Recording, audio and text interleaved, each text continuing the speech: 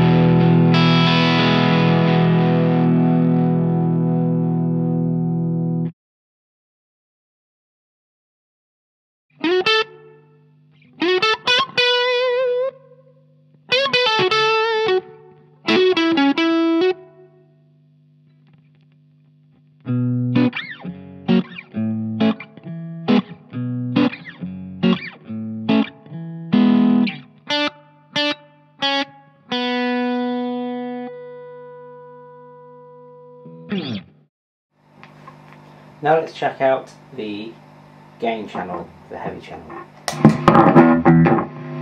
So set the gain all the way down at 2.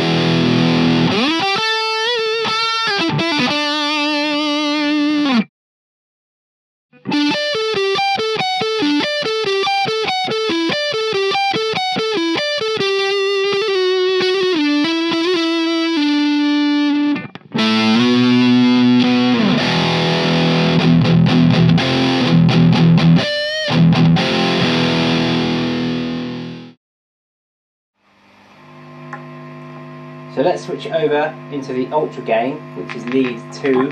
So here's standard gain.